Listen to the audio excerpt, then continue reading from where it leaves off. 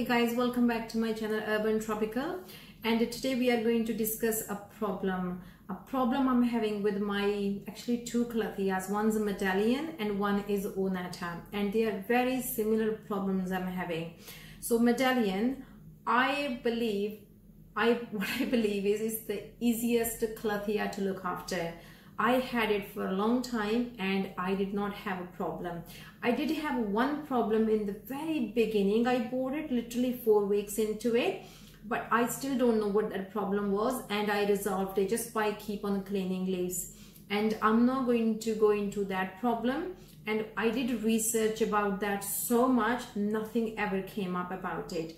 So I will put that on a separate video. Again, I'm having a different problem with it I am not 100% sure what the problem is, but symptoms are so common. So the leaves are getting infected with something. And look at this one. It's definitely not underwatered or overwatered plant. I mean, crispy edges, I believe I have them because I do not have a humidifier. So if you don't have a humidifier, you are bound to have some crispy edges. So I'm not bothered about that. I'm bothered about if my leaf is completely going. So what I am experiencing that there is a tiny sticky black dots at the bottom. I'm not sure if you can see them here. And um, how do I really resolve this? I'm just going to share that. So this one, I don't know what it is. Normally three things attack your Calatheas. One's a spider mites, one's a scale, and it could be mealybugs, which I'm really not able to see. Actually, I cannot see any of them. And when I looked into it, it's like um, has to be one of the pests, but I really do not see it. But all I know is that even if I have either of them, the solution is the same. I will have to do the same treatment. So I'm not going to really spend a lot of time figuring out what it is, but I will show you close-up images of my leaves, what exactly is happening and uh, what I'm going to do and I hope that it works. The infected leaves are just here. So this one and uh, the reason I know it's past because if I look at the bottom side you can see the green leaf is coming out the green color I can see. Normally the underside gets green for two reasons. One if I put it in a really bright light and second past just sucking the liquid out of it. I know that it hasn't been in a bright light for me for it to lose color.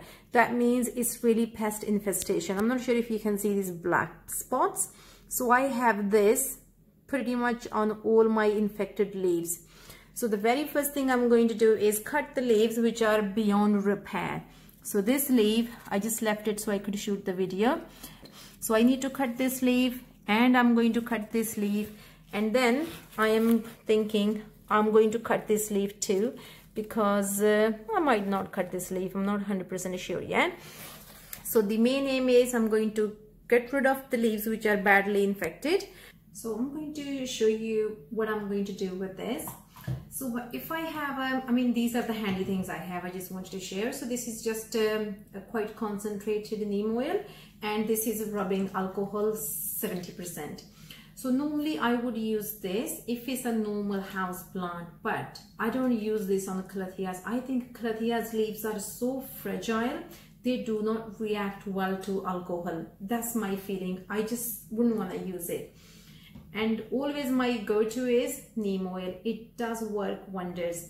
So now first i'm going to mix these up. So i always keep my i always keep it uh, quite diluted because i don't want to use a lot of it. So i have just bottle and uh, this is filtered water which i'm just going to put in.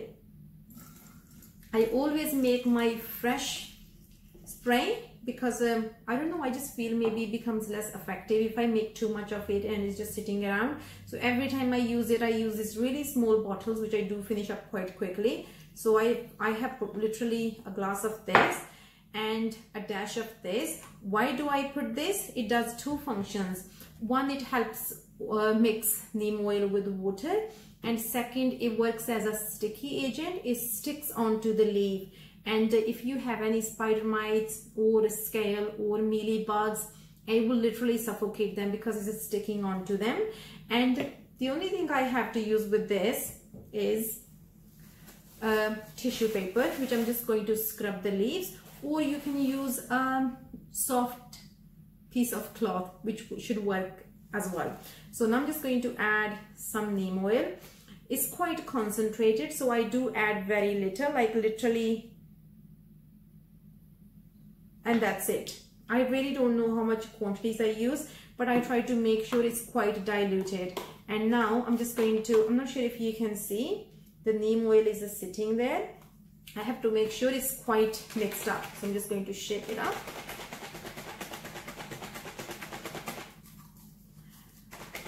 So I have got two choices now. My first choice is that I'm going to spray the leaves and massage it properly every single edge I can see and change my soil. Because if it's any spider mites the eggs could be in the soil. That means I will have this cycle again. But that's if I believe there are which uh, if it's a spider mites. I'm going to give it some time. I'm going to spray this wait seven days or even 10 days and see what's happening. If I have to change the soil, I will do so. I would have actually done that right now, but I don't have a batch of soil ready. So I need to make that batch before I can do that. So that's on hold, but I will do that if I need to. And I'm going to cut the leaves I don't need and dispose them off. You don't want them hanging around at all. So this can go, I really don't think I want this one too. This one can go, so these two are gone and now we're just going to moving on to spray this plant heavily. So now you can oh. so if I show you it's all mixed up now. You don't see any dots at all. Neem oil is completely mixed with water. I have used filtered water for this process. So and underside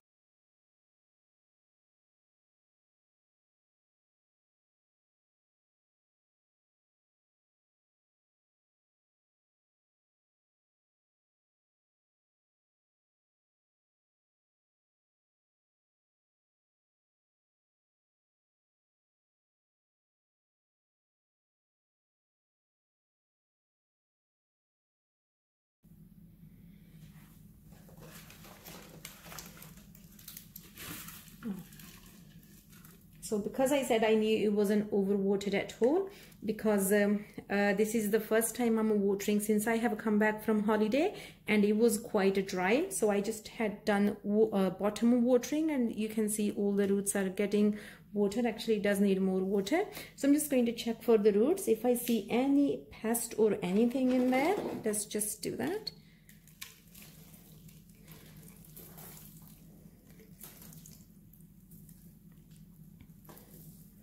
So I don't have any soil infests here. Soil infestation, actually, that's the word. So I'm just checking. Just checking.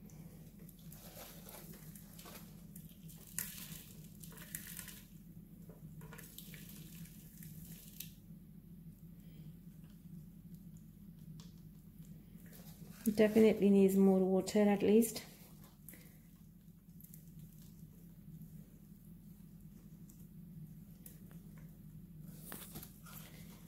I'm going to water it more from the bottom again. I just think bottom, uh, bottom watering is so good for your plants. They get a proper drench. And especially if you have a fungus infestation the last thing you want to do is to promote that. I have made so much mess here oh dear the next step is I will keep you posted how it goes and if the leaves are getting any better or not. I really hope that this was useful for you and uh, please do share your comments. Thank you so much for watching. Bye-bye.